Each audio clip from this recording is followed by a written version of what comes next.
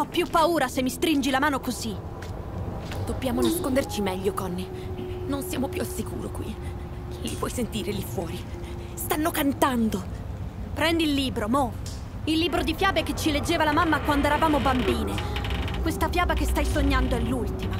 Leggila meglio perché non c'è scritto cantando. So a memoria questa fiaba, perché la mamma ce l'ha letta così tante volte prima che andassimo a dormire. E poi, che è scomparsa, te l'ho letta io ogni sera. Per di più, l'ho sognata un centinaio di volte e va sempre a finire allo stesso modo. Non finisce bene per noi. Mai. Ma ora vorrei provare a cambiare il finale del mio sogno. Vorrei tanto poterlo controllare. Non è solo un tuo sogno. Questa è una fiaba.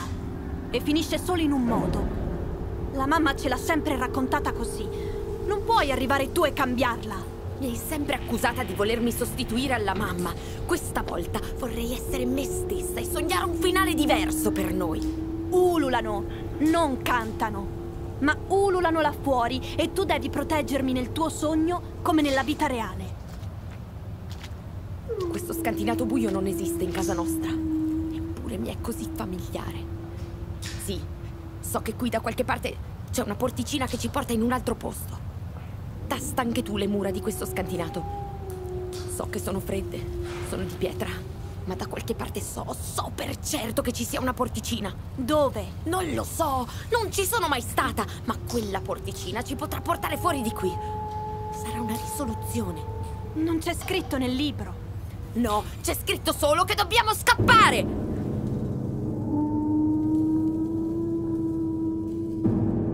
Quella porticina non vi porterà da nessuna parte, perché la verità è che siete incastrate negli scantinati della vostra mente.